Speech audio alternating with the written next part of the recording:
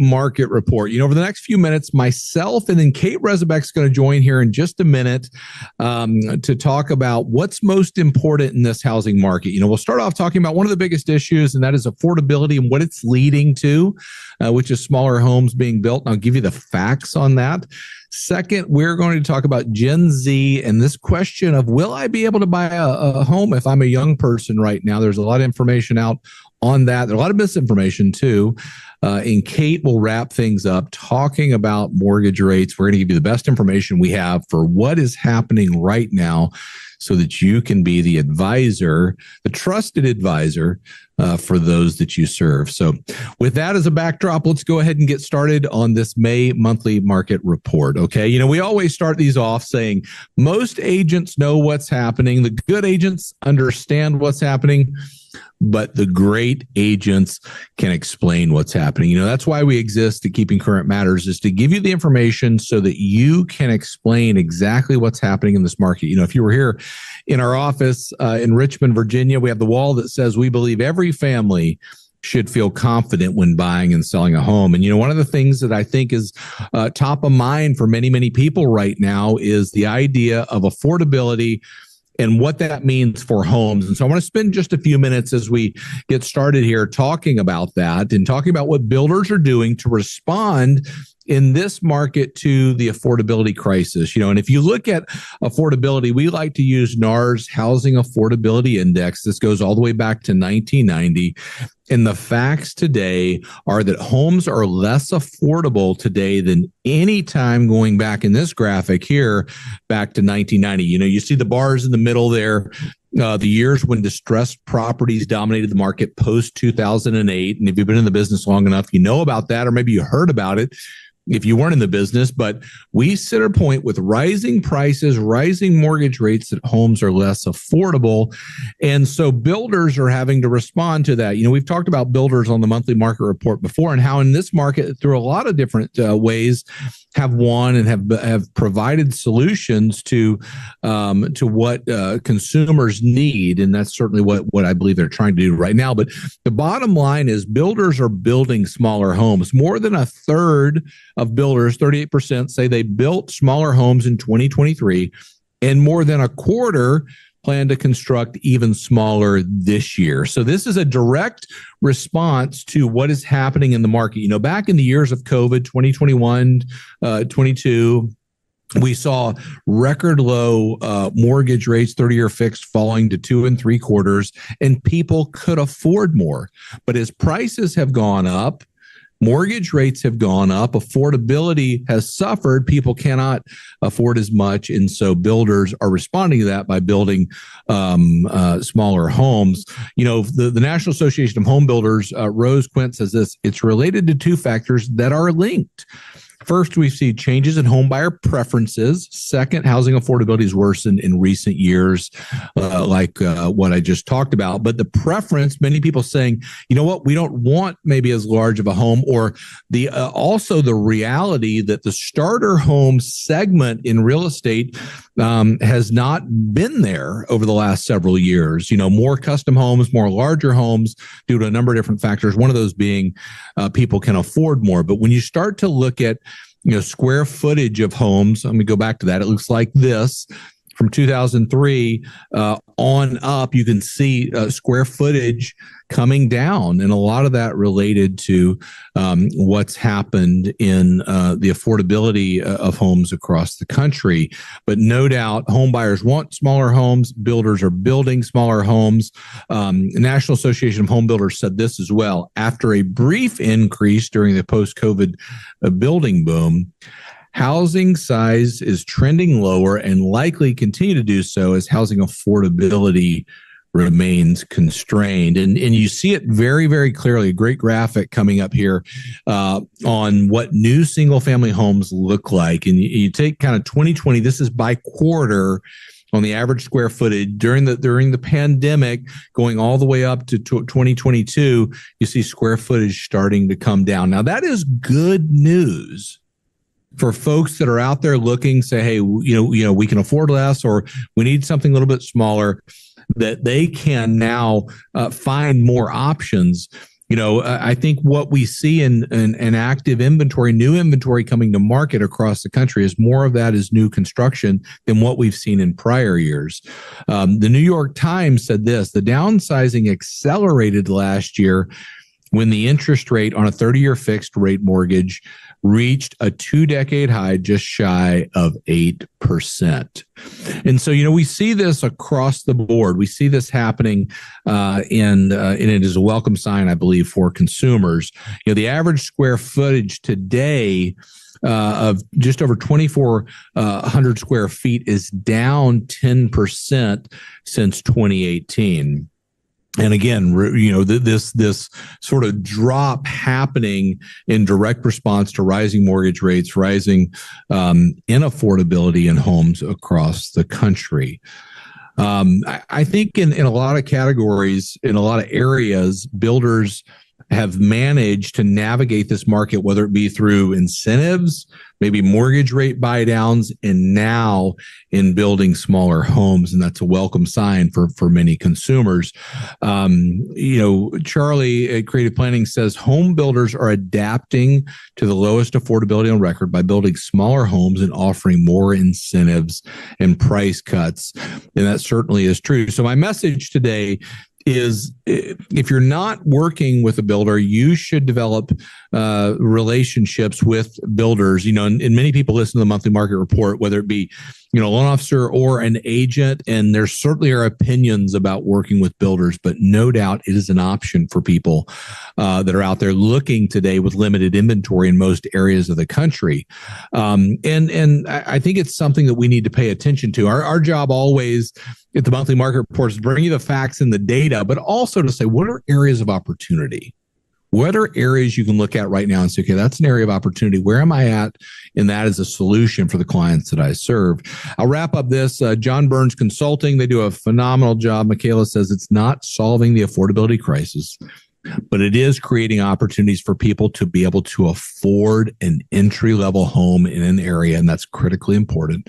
And if you get that size down the affordability will make it uh, a more or that will automatically make it a more affordable home. And so that is a good thing a lot of talk about affordability, a lot of talk about rising prices, a lot of talk about rising mortgage rates. Builders are responding with a different type of product, a smaller uh, product that makes things more affordable for people. You know, when we talk about affordability and one of the issues that is out there, and it's near and dear to my heart, uh, is younger people uh, under the age of 25, Gen Z, wondering will I be able to buy a home? And this I said was near and dear to my heart. It's it's that because I have three Gen Zers, two that are in college, one in high school, and I have had individual conversations prompted by them on will I be able to buy a home?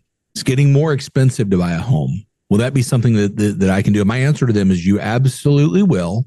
It's more expensive, but you can do it. And and the reason that I'm you know so um, uh, direct with them and that is because on social media and other platforms that are out there in the world news and all that um, they're being told they can't and I think our job right now is to show Gen Z and show younger people how you can. You know, just to sort of give an underscore to it, Gen Z is the population born between 1997 um, and 2012. Right here, these blue bars. Anybody from 10 years old right now to maybe 24. So people that are, uh, you know, not at certainly not at home buying age, but entering into it uh, on the higher side, right? If you're 10 years old, you're not looking for a home. But if you're 22, 23, 24 years old, people are starting uh, to buy at that age. And many of them wondering, is the, the dream of homeownership dead for me? I think we need to be vocal about this, um, uh, this topic with people that we serve because I, I think no matter what, you know, what area you're in,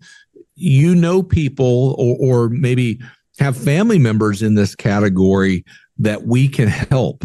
You know, if you look at population, Gen Z is right behind millennials, but um, make up about, you know, roughly 20, 20% millennials, 20% Gen Z, 20% Gen X and baby boomer. You see that roughly broken down that way. And, and they are the generation coming up that is, um, you know, sort of wondering if the American dream is still alive for them. And they're very good reason for it. One of the biggest reasons that they ask this question is the reality that the cost of buying a home is risen dramatically over the last several years. And I'll give you just a, an example of that. The average monthly payment in this country, this is a principal and interest example from 2019 to today, has gone from just over a thousand dollars to just over two thousand dollars. It's doubled. Okay. And so if you're if you're out there looking, you're you're somebody that's coming in, maybe trying to get a job and I want to buy a home and thinking about life that way, you're concerned. And I think there's very real reason to be concerned uh, in this area. But I think there are reasons to be optimistic as well. And, and let me get into that and, and maybe break down a little bit of who's buying right now and what are the things you can do to help somebody in uh, in this area. Start with a quote from Chase. Um, they said this: uh, "The turbulent economy of the last few years has left more than a few people wondering: Will Gen Z be able to afford houses?" And the short answer and the good news is probably yes. Despite some potential trepidation surrounding homeownership, first-time homebuyers who were born between 1997 and 2012 may have cause for optimism. That's a good message, right? You're not hearing that in the news when you turn it on at night. I'll tell you that. They go on to say the path to Gen Z homeownership may have its own share of challenges, but that's not stopping Gen Z, nicknamed Zoomers, from buying homes. In fact, some Gen Z real estate trends are pointing in an optimistic direction. According to a recent study from a major real estate brokerage, about 30% of 25 year olds own their homes in 2022, 2 to 3% ahead of both millennials and Gen X at the same age. Now, listen, I'm not saying that, that Gen Z is making up this enormous amount of, of uh, buyers and sellers right now. We, we have the numbers. Uh, it's about 5%, 3% of transactions in 2023, 2% of sellers uh, were in Gen Z, but they are out there and that number will grow. That is my message. Over the next five years, that number will grow. It's imperative that we get our message out there through video, through all the platforms that they are watching to help educate them. They want the education on how do I buy a home because many are wondering, am I going to even be able to do that? So a couple things that you can educate people on uh, right now relative to Gen Z and home ownership. First, upping your financial literacy. You know i think this is a is an area uh, about how homeownership works. How does the mortgage process work? What are mortgage options through alternative financing through maybe buy downs? I just talked to somebody about a buy down uh, on the uh, the market podcast. Maybe it's even through some, some incentives that are offered. How you know how do you understand that financially? Trying to start saving now you know the, the key to to buying a, home certainly is being able to um, uh, pay the acquisition cost, the down payment, the closing cost, all the things that are associated with buying a home and saving today will help somebody do that in the future. And listen, if you think that's not an option for you, if you think homeownership's not an option, maybe you don't save. And I think our message should be clear with folks that they do need to save. They need to start today because they can uh, buy a home. Uh, third, keep an open mind. You, you, know, I think looking at where are there areas and opportunity in the market, maybe it's something you can buy and put a little bit of sweat equity in and uh, fix something up and get a home, um, you know, to a place that you say, hey, look, this is mine. I put, I put this in there and I got a deal on it or I, I, I got uh, something that was a great value uh, and keeping an open mind on it, doing your research. And that's where we come in. We can be the educators that help people uh, do their research on the market. So if I'm I'm thinking, uh, you know, my oldest is 22, he's thinking about, okay, am I going to be able to buy a home? And where he's going to be, where he's going to live, is he connected to someone that's going to help him understand the market, save, and be prepared for when that day comes? That's the next wave of buyers that we have coming into the market. You know, Directors Mortgage said this the path to homeownership may not be a straightforward one for Gen Z, but it's undoubtedly within reach. That is key. By adopting the right strategies, like exploring down payment assistance programs and sharing living cost with relatives, you can bring your dream of owning a home closer to reality. Don't forget to engage a reliable mortgage expert to guide you through this exciting journey. Your dream home is closer than you think. And listen, my message to anybody listening that's a loan officer or an agent that that a great lending advisor, lender partner, and a great agent working together is the solution for Gen Z. No doubt about it. Help them understand how do you go out and buy a house, help them understand what the costs are, help them understand how you navigate it, what the options are. That is that is no doubt. You know, many that are that are in this category expect to receive some sort of help. You know, uh, according to Redfin, more than a third of Gen Z and millennials that plan to buy expect to get a cash gift from their family to help fund their down payment. You know, I, I think certainly those uh, those folks that have that advantage, that is a good thing, um, and we want to, see them be able to to do that uh, and uh, and move forward with the dream of homeownership. But let me give you a a gift here uh, for for the next minute or so before Kate joins and talks all about mortgage rates because listen that's driving uh, a, a, big piece of affordability or the lack of affordability uh, and we want to be educated on that. But here's a a a gift that I want to give you. There are resources available and and one of the great resource uh, and you can write this down if you, you have something to write with is downpaymentresource.com you know, so downpaymentresource.com. It's in this slide. Uh, the the link is in the notes to their website you can go on that site and it's broken down by the area of the country you're in. You can break it down by zip code or or, or uh, maybe it's county. I'm not sure. Over 2,000, you know, affordable mortgage programs, down payment assistance programs that are available, grant programs that are available that oftentimes people don't even know exist you know 39% of the programs over there are for repeat buyers so it's not just first time buyers in 75% of the down payment programs you know provide you know down payment and closing cost assistance. There are things out there that will help people if they will tap into them and they will educate themselves. And, and for anybody listening, educate yourself. Go to downpaymentresource.com. They're a phenomenal organization. Uh, I've known Rob Chrane that started that business for, gosh, 15, 20 years now, and they exist to really expose the programs that help people buy. I mean, that's a, it's a wonderful thing that I think each one of us could do. Um, people that we work with a tremendous favor and tremendous benefit by educating ourselves uh, on that. You know, bottom line with with the affordability issues in Gen Z, um, Chris Porter from John Burns said this: at their core, Gen Z still aspires to home ownership, and that will happen maybe later for them because housing affordability is a big challenge right now. I think it's a challenge we can navigate. One of the things that is key to navigating that is understand what is happening right now with mortgage rates.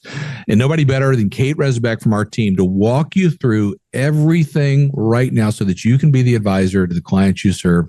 So I'm going to turn it over to Kate. Thanks, David. We're going to be talking next about what's the latest on mortgage rates, especially coming out of the latest Fed meeting and what we're seeing in employment data and inflation. This is really mission critical to start with. So I'm going to begin with this quote from Nicole at Zillow. It says, The biggest thing when we're looking at mortgage rates right now is volatility. We have been talking about that word for quite some time. We are in a volatile mar- market, especially when it comes to mortgage rates. That's everything we're going to unpack right now. And the bottom line is that it is going to take a little bit longer for mortgage rates to come down.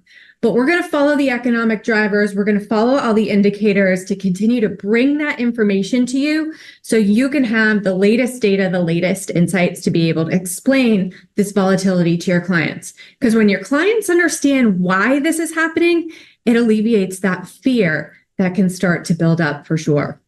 So let's take a quick look at this mortgage rate volatility. This is the daily mortgage rate going back to October of 2023. We remember when mortgage rates kind of peaked around that 8%. We saw them coming down at the beginning of the year as we saw all these economic indicators, inflation and other things starting to show uh, some relief for mortgage rates. We got into that downward trending environment, and now we're starting to see mortgage rates tick back up a little bit.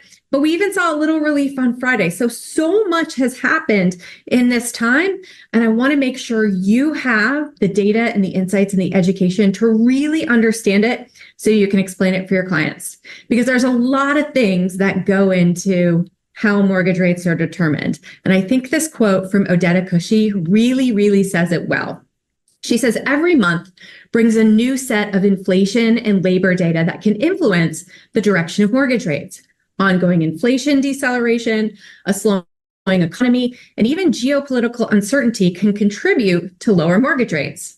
On the other hand, data that signals upside risk to inflation may result in higher rates.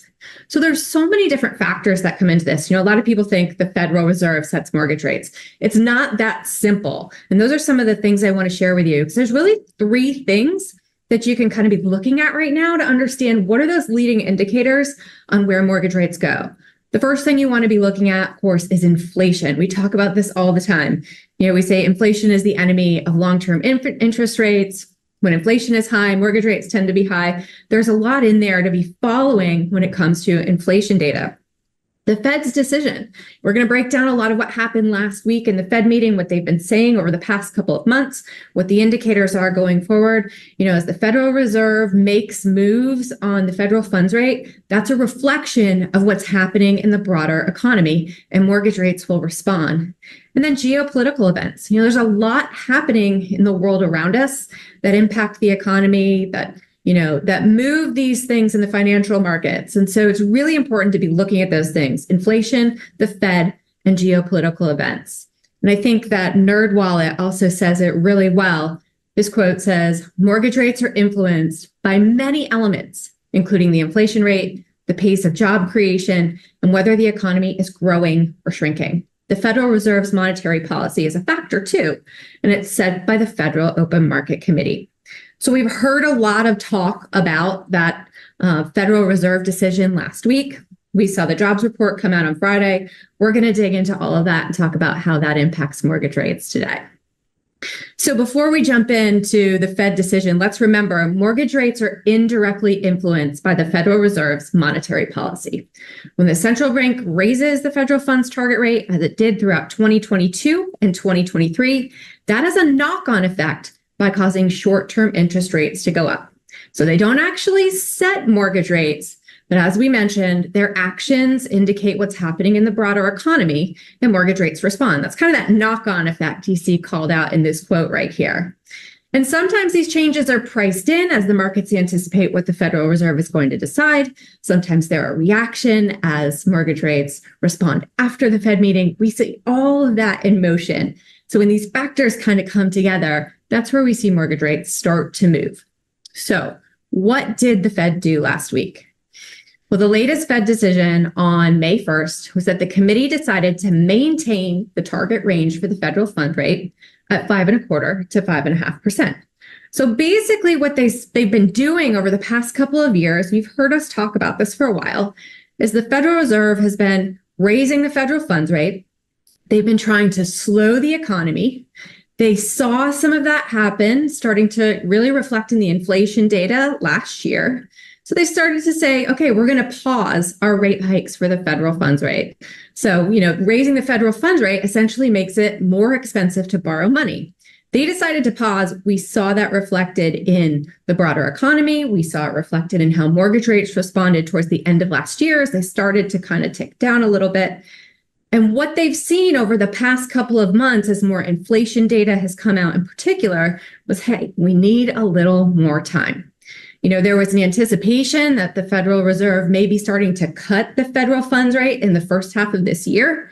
And they're saying, you know what? We need to see some more definitive trends in a slowing of the economy for that to happen.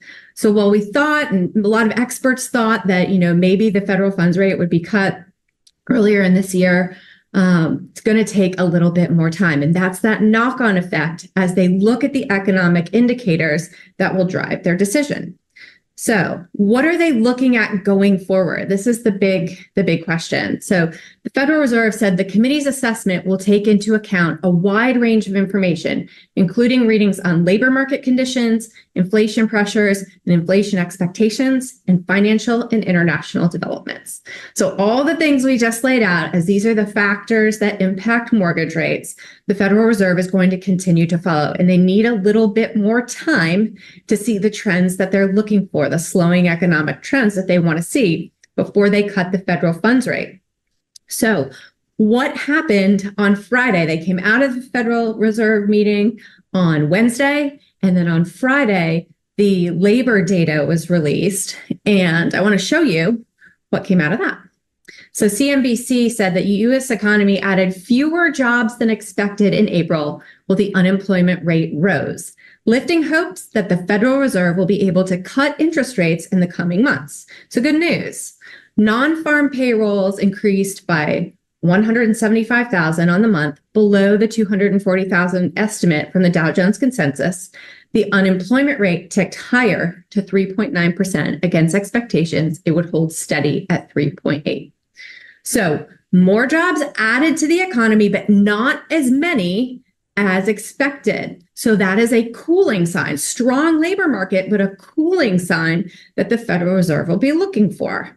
Same thing with unemployment rate thought it would come in at 3.8%, came in at 3.9%, so a little bit higher, another strong but cooling factor. And it's these cooling factors that they're really trying to look for to see when will we be able to cut the federal funds rate. And I think some context is really helpful on this too. This is a graph that we put together um, from the Bureau of Labor Statistics, and it's the unemployment rate.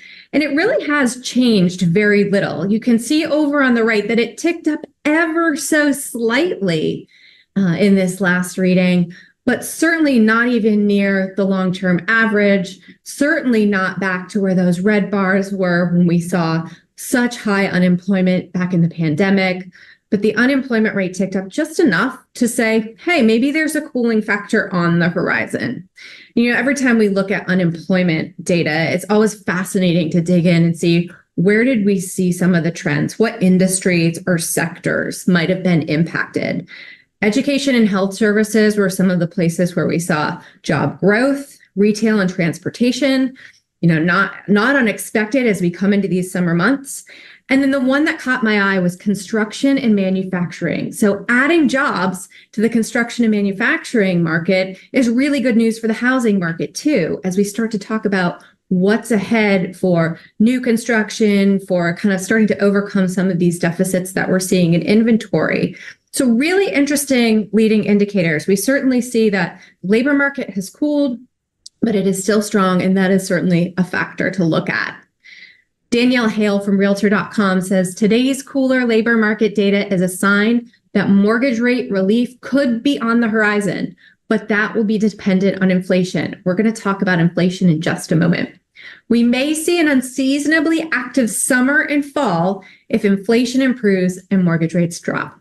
So, as we see some of these cooling factors in the labor market, we continue to watch where inflation is um, and that coming down, you know, those are the things that will be drivers to uh, cut the federal funds rate. And then ultimately, some of those knock on effects that you see that start to to bring mortgage rates down. So it's all these factors that we got to watch, and that's what KCM does is we watch these for you, so you can come to one place to really understand what does it all mean when they all come together.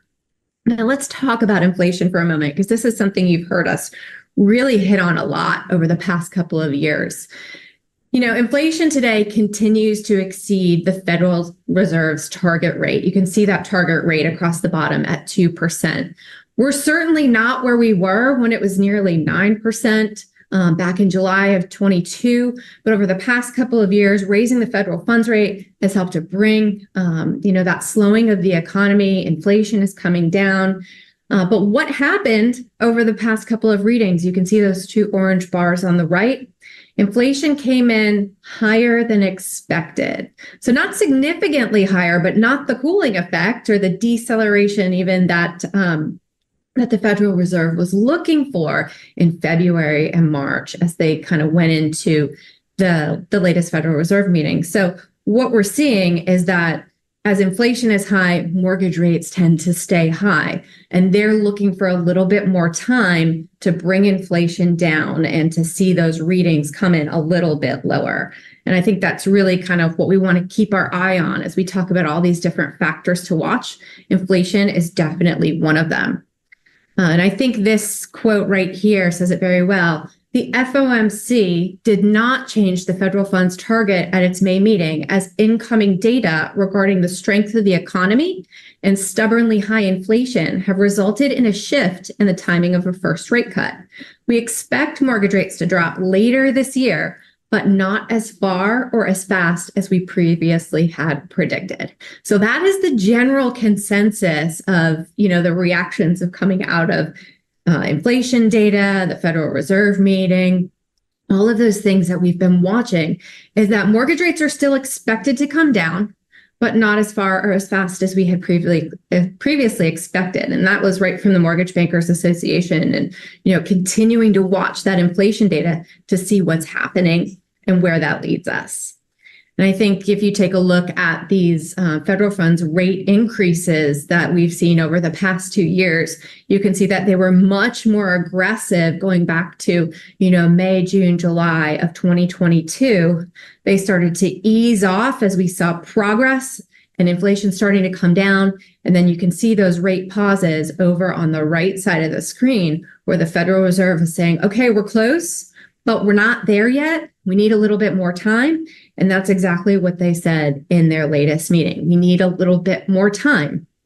And what I want to do now is show you another really uh, couple of p- powerful visuals because the why on why they need a little bit more time is really, really impactful.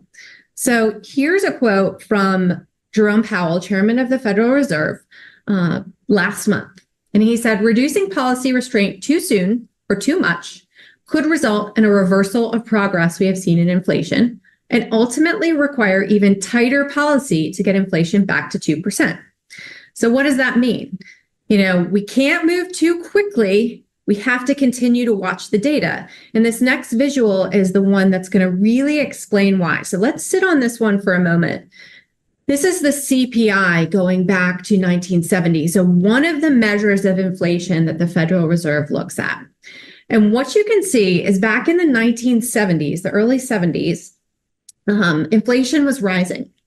And that's what you see in that left oval over there. Inflation was kind of ticking up. And so what the Federal Reserve had to do was raise the, the federal funds rate to bring inflation down. So you can see that that happened, that first peak and valley.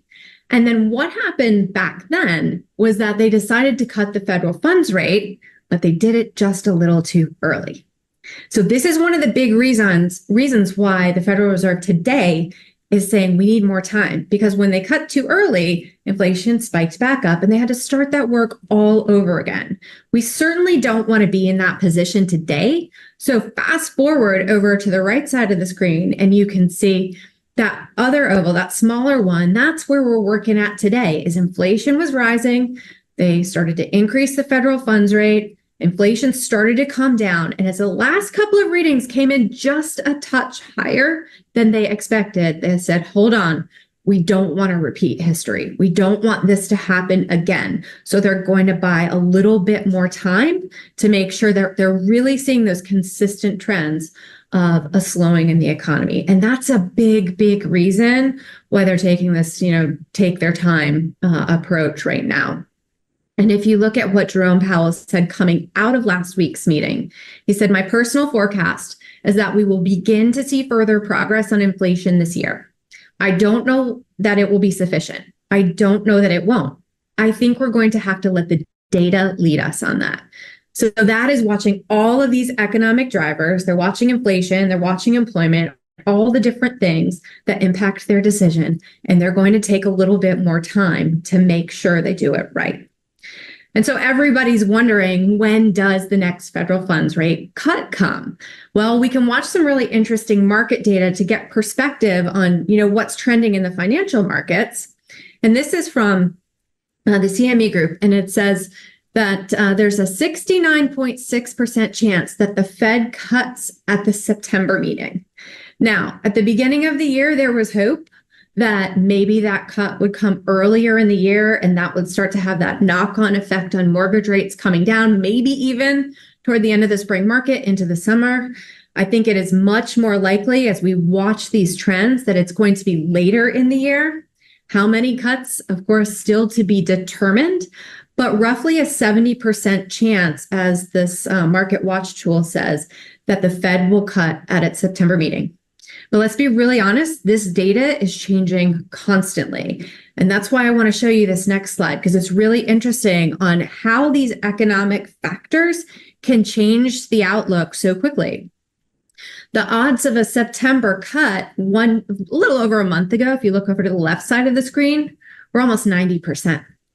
You know, everybody was saying, yeah, September, we're to be we're going to be cutting rates by then. Well, coming into the end of April, as we're continuing to watch inflation data in particular, percentage started to tick down. Going into the Federal Reserve meeting last week on April 30th, the odds people were saying and experts were saying was roughly about 45%. Coming out of the meeting on May 1st, the next day, odds started to tick back up. And then we saw employment data be released, strong but cooling labor market toward the end of the week on the 3rd. And then even today, odds of a September rate cut ticking back up. So this is a great leading indicator on perspective of what might be coming as we look later into the year. Now, there's always the question, too, of well, could the Federal Reserve actually hike rates again? Could they tighten monetary policy further? And Jerome Powell said directly, I think it's unlikely that the next policy rate move will be a hike. So that's really good news as we think about what does all this mean for mortgage rates as we watch geopolitical events, as we watch inflation, as we watch um, job trends, all of those different things. What does this mean for rates, mortgage rates in particular, going forward? Well, we have the latest projections from some of the key experts that we follow. And really, what they're saying, if you average out Fannie Mae, MBA, and NAR, the latest projections that we have from the end of April is that mortgage rates should continue to trend down this year. If you look at, um, you know, that green bar that just came up around the screen, Q- quarter four of this year, Q1, Q2 of next year, below that six and a half percent mark and maybe down even next year into the high sixes. Now, again, we saw that quote earlier. It's not as fast or as far as we originally predicted, but uh, a lot of the experts are saying that's because we're still continuing to watch the economic data, watch what the Fed is doing, watch what the experts are saying, where all these factors come together. So if we can keep our eyes on what's happening right now, what does this mean going forward? And as agents, be able to bring this perspective as the educator of here's what the latest data says and how it's changing. That's the best way to educate educate clients right now to prove value, to be the trusted advisor, you know, working with a trusted lender right now in a volatile market. Mission, mission critical to have those partners to help navigate through this, to talk through what's happening and why and what are all these factors. But the good news is we're still in a downward trending environment. And if you look at what MBA says, they are projecting uh, mortgage rates to continue to come down this year and next as we watch these economic factors impact where they are going. Uh, so definitely in that downward trending environment, I think as we look at what all the experts are saying, we have to remember mortgage rates are the toughest thing to project in the housing market. Look at all these factors we talked about today. Everything is kind of coming together in this puzzle and it's moving constantly as the economic data changes. So, yes, a downward trending environment. Experts are saying they will continue to come down, uh, but they are the hardest thing to project. And the best thing to do is bring the most current data to your clients and help explain the why. Because what we also know is that more people are starting to think that mortgage rates might not come down. They're seeing all this talk, all this chatter, all the headlines about inflation and everything that's happening. And the percent of respondents who think mortgage rates will go down in the next 12 months, 12 months actually went down in March as a lot of this was circulating around the news. So January, February, 36, 35% of consumers felt like, yeah, I see the light at the end of the tunnel. They were starting to see mortgage rates tick down and they were saying, yep, I believe that this is going to happen. Well, that percentage dropped in March. And that's where the confusion and the fear and the I'm just going to press pause on my plans starts to really hit your clients. So being able to understand that consumer perspective and communicate that out is mission critical because that's how we remove the fear. That's why we help people understand why things are happening. Because as Bright MLS says, expect rates to come down in the second half of 2024, but remain above 6% this year. Even a modest drop in rates will bring both more buyers and more sellers back into the market. And that's really important to talk about because it's going to change the mindset of consumers as they start to see rates come down. And that's going to change what's happening in the housing market. And I love this graph that we use that uh, shows demand based on rate environment.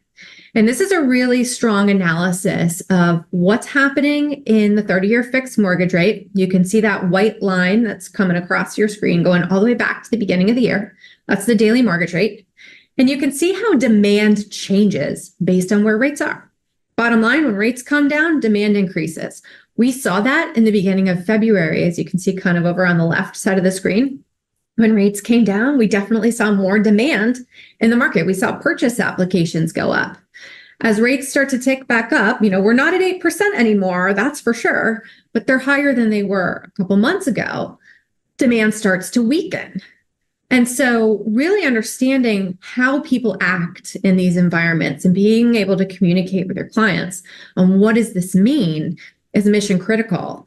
Because you know you can have conversations all day about hey clients mortgage rates are projected to come down. Here's what all the data says and what the experts are saying. And if someone turns to you and says that's great i'll just wait then you want to be able to ask a really important question. And that important question is what do you think everyone else is going to do you ask that question, and people start to realize, well, as rates come down, all this pent up demand that we might be feeling right now, this competition for limited inventory, people are going to jump back in the market it's not going to be the floodgates of what we had when there were 3% mortgage rates, but we're certainly going to see more people jump into those good and strong buying demands as rates come into below six and a half. And even below 6% is going to bring a lot of buyers back to the market. So if someone's waiting for mortgage rates to come down, being able to talk to them about what does that mean? It means more competition among other buyers, more multiple offer scenarios, harder to find a home potentially, and prices continuing to rise as buyer demand goes up and inventory is still constrained. Sure, we'll see more houses coming to the market at that point too, but it doesn't make it easier to find one at that point. So we want to be able to help people who are ready, willing, and able today to buy realize here's what the data says and what that means for the market if they really want to make a powerful and informed decision going forward. We never want to push anybody into buying a home by any means, but we certainly want to give them the perspective to be able to make an informed decision, not just a wait and see decision. And that's where your value as the educator is absolutely priceless because we know there's going to be a mindset shift as rates come down back into the sixes, back into the low sixes, and certainly below 6% even into next year. So, a lot to talk about, a lot to consider as we have these conversations with our clients. And as you always hear us say, most agents know that this is happening. It is very clear what's happening in the market. The good agents really understand it, and the great agents can explain it. And if you can take this information, share the visuals, talk to your clients, and get this message out there, that is going to be the game changer for you and for your business. So, really making sure that you are able to explain what's happening.